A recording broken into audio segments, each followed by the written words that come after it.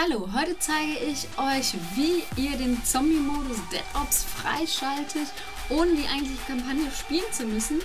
Als erstes müsst ihr die reguläre Kampagne starten, ist eigentlich egal auf welchem Schwierigkeitsgrad. Dann müsst ihr unter der Missionsauswahl die Mission Black Ops auswählen und das Spiel starten.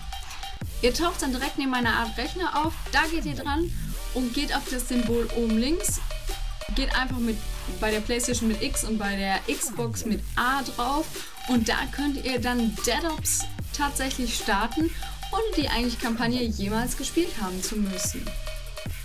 Ich hoffe, ich konnte euch damit weiterhelfen und ansonsten würde ich sagen, sehen wir uns das nächste Mal. Ciao!